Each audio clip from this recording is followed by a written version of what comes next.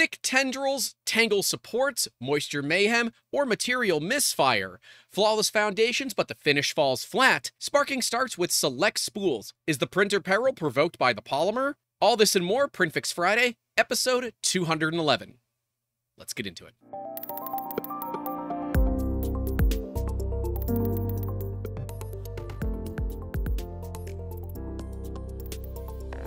Starting off wondering what is happening. The filament should be dry that they're testing.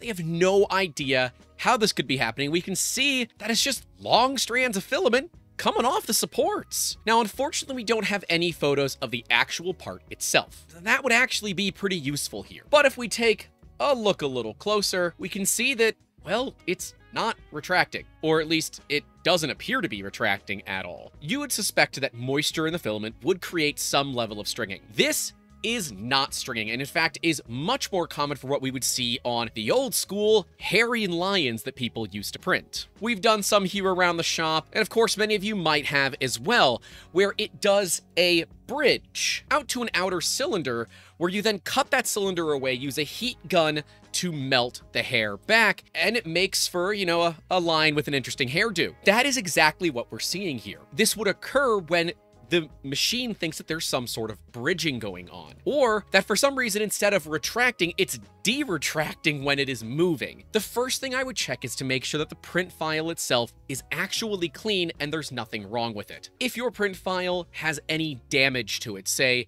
it's corrupted, maybe the G-code's messed up, maybe the STL file needs to be repaired, you could see the machine trying to fill in those holes or dealing with bad code by just drawing straight lines. This, though, is not from wet filament. We can see the material itself looks fine. It might be white filament, which I really don't like, but it looks okay. All we see are these thick strands. Those strands appear to be the exact size of an extrusion from the hot end itself. This could also be caused by extreme back pressure, but given that this is a Bambu Lab A1, a machine that has well-tuned profiles from the factory and well-tuned profiles in pretty much every slicer available on the market, there's no real reason that this should be happening. My best guess is going to be it is a bad file, but I'd like to know from you all, what do you think here? Yeah, it could be they have the retraction set at a negative number, and so as the machine is moving, it's just extruding filament, but it just, it looks too consistent, and honestly, it looks too good. Now, Thankfully, this is just on supports, so, or at least we can only see it on supports, so just cut off you're fine. No big deal. But to really determine what is exactly going on with the part, we want to look at the file itself, see how it's creating the support, and check the actual G code and check the sliced file, the one that you put on the micro SD card or the one that you're sending through the cloud, to make sure that that is there. If it's not, we've got other issues to look at, but I'm going to guess it is all file-based. Let me know your thoughts. And hey, while you're typing that up, my name is Grant. This is 3D Musketeers and Printfix Friday, where we help you get your printers back to printing with purpose. And if you've been dealing with printer problems, make sure to reach out to us on all the social medias. And the best way to do it is to film a video of what's going on with your machine and tag us in that description. We'll get notified of it. We can show that video and, you know, a little bit more information than photos. We would love to help you out. So if you are dealing with issues, just reach out to us doesn't cost a dime to get some assistance. Because we certainly don't want prints that, well, are hairy where they shouldn't be. We want prints look like that. that that's a good looking print back there. We'll show you that at the end of the episode, so make sure you stay tuned. And hey, while you're down there, don't forget to leave a like and get subscribed. But moving on to, uh, well, I don't know any better way to put it. So, if only my tops could look like my bottoms. Look, we have links to every single fail that we cover in the description. So if you want to see the absolute ridiculousness that is the comment section for this, go and enjoy. We can see here the bottom of the print looks honestly perfect. The top side though, absolutely over extruded. Traditionally, when we see something like this, we would say, wait a minute, it's probably warped. But I don't see any evidence of warping on this part at all. Traditionally, what's happening here is you are over extruding. The best thing to look at is your steps per millimeter. Grab some filament that you can mark on. So white filament is often the easiest for this. I want you to insert it, get it purged out through the hot end. Then from the entrance to the extruder, 100 millimeters up, mark a line, tell the machine to extrude 100 millimeters and see what happens. You can do this with 50, with 25, with any number technically, but 100 is easy and gives you plenty of time to determine did it go too far or did it not go far enough? In this case, we would guess that it is going too far. And because we don't see any lines on this first layer, I would bet that that first layer has got ridges. Remember, if your ruffles have ridges, you are either too close to the bed or you are over extruding. Ruffles have ridges. Now, this part is very thin, so it being a little bit too close on the bed side of things could impact that top layer, especially on hyper thin parts like we see. So I would make sure that first layer looks and feels like glass. On textured build plates, this isn't that much of an issue because it's difficult to get a first layer look like glass when your bed material is rough on its own. But this bed appears to be smooth, or smooth enough. It is not a really rough PEI surface that we're used to on other machines. So we have to assume that this is like a smooth PEI sheet or something like that. The over extruding thing is much easier to check, especially when you already have a print done.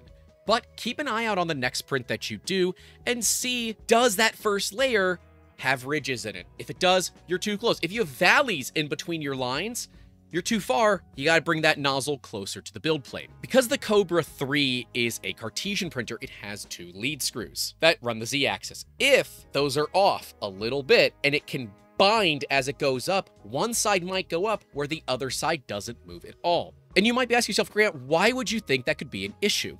Well, if we look, the issue is not anywhere near as bad here on the right side as it is on the left side, and it gets progressively worse as we go toward the left side. That would tell me that we have an unevenness to our x-axis. These are all things that are easy to check, easy to fix, and if your Kobra 3 for some reason only has one lead screw, I, I honestly don't know if they came with one or two, then make sure the V-wheels are tight, they're not wiggling too much, and that all the bolts that hold this machine together are not loose backlash can be created by anything that's loose. Make sure it's tight where it can be. Next up, we got an Ender 3 that is shaking so much you might call it Andre 3000, where he's telling you to inaccurately shake it like a Polaroid picture.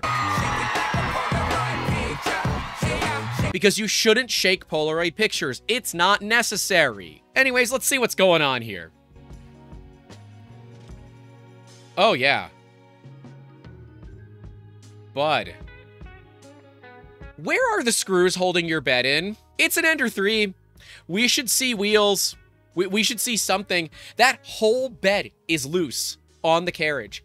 Really, really loose. I watch this. I, seriously. Normally, I'd, I'd make a joke about how much it's jiggling, but realistically, there is no appropriate joke that I could make, so I will let you all make them down in those comments below. But I agree with the top comment here saying the fact that you're getting anything remotely resembling a functional print on this is genuinely amazing. I agree. There are so many screws up in my head loose that you might think my name was Marshall Mathers. It's not. It's but you're going to want to go through and check the carriage. Check to make sure the V-wheels themselves are tight against the rails they ride on. Make sure that if there are springs and thumb screws that hold the bed to the carriage, fairly certain there are, that you find them because it looks like they're not there and the whole thing is wobbling like crazy. But this is why we talk about making sure that your machines are maintained.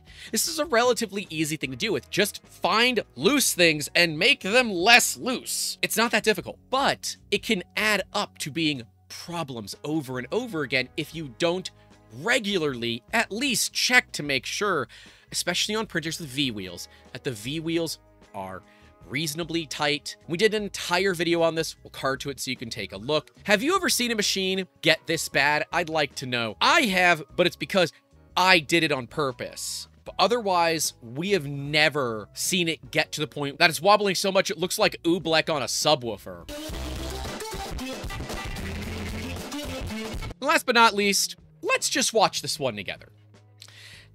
Do you notice the thing do, do, do, you notice the sparking? This is a Vision Miner 22 IDEX, a very expensive independent dual extruder, so IDEX 3D printer that is basically designed to print high temp materials like PEEK, PEKK, Ultem, and in this case, carbon fiber nylon.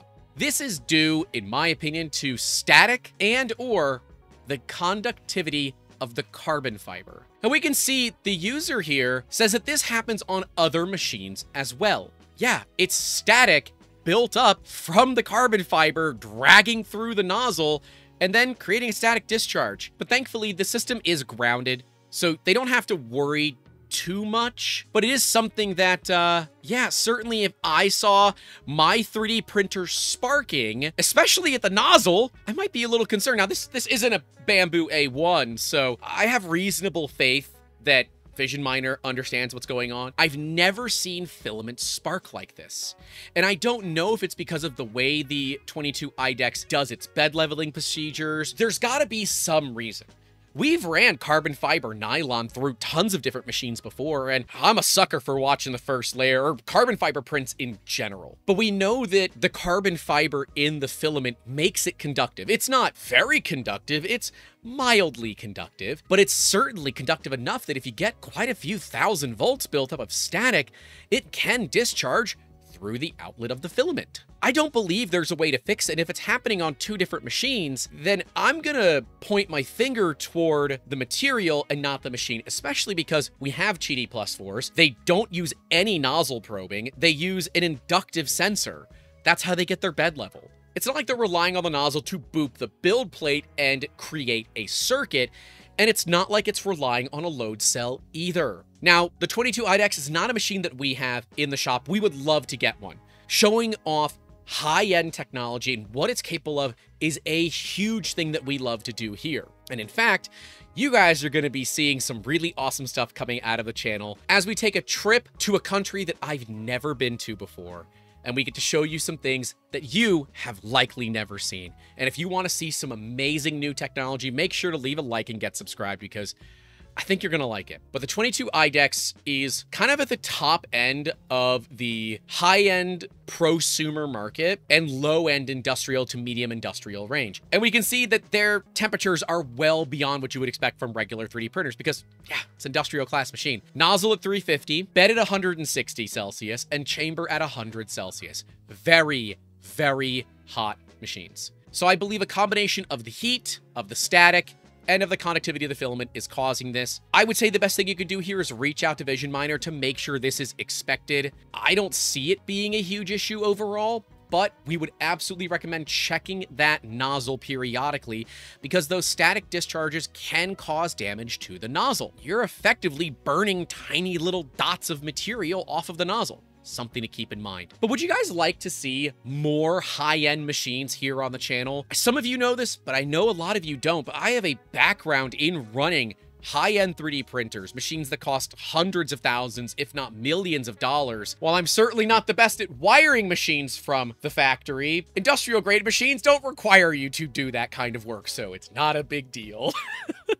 But I'd love to know from you if you think this is going to cause any issues. Have you seen this on machines in your shop before? We have Qidi Plus 4s. We've ran carbon fiber nylon through them. Maybe I'm just not paying enough attention. Even though we technically don't know how to solve this problem, I think it's unique enough to show you all and see what you think is going on and how you might solve it. The cool thing about the internet, we can do those kinds of things. Just like we can do the kind of things by showing you the awesome names listed right next to me at the $5 tier and higher. Remember, if you want to support the efforts that we do here and get access to our private Discord server, you can join at the $10 tier and higher. Thank you to all of you that make these videos possible, as well as trips like 3D Printopia coming up this weekend. In fact, as this video airs, we are already in Maryland. If you want to come say hi to us, hang out, get signatures, whatever, come find us at 3D Printopia. We will be there filming all weekend. Come check us out. Come say hey, get some photos, whatever. We always like talking to fans. Don't be afraid. I probably won't bite. I'm a Florida man. It's never a 0% chance. And, oh yeah, because I said I would show this to you, and I'm definitely not starting the recording again because I totally forgot to actually show this. We made some upgrades recently. We, we picked up a uh, Atomos Ninja 5 uh, field recorder, TPU 3D printed screen protector, of course, with that beautiful Ember Prototypes plate, and an adapter on the back that fits standard size SSDs rather than the really expensive ones that Atomos sells you. Very cool use of 3D printing. This is uh, Polar Filaments 60D TPU, so it's nice and flexible, but holds its shape quite well. And this here is some really, really old Prusa, not Prusament. Back when Prusa was having somebody else make their filament, uh, this is some of their Prusa Orange from 2017. So, still prints perfectly as long as it's dried. But anyways, thank you so much for watching this. Stay safe out there. Don't forget to call your loved ones. And as always, keep making awesome. Have a good one. Editor Rob, I want to see how you decide to spell that, but you probably know how to spell oobleck.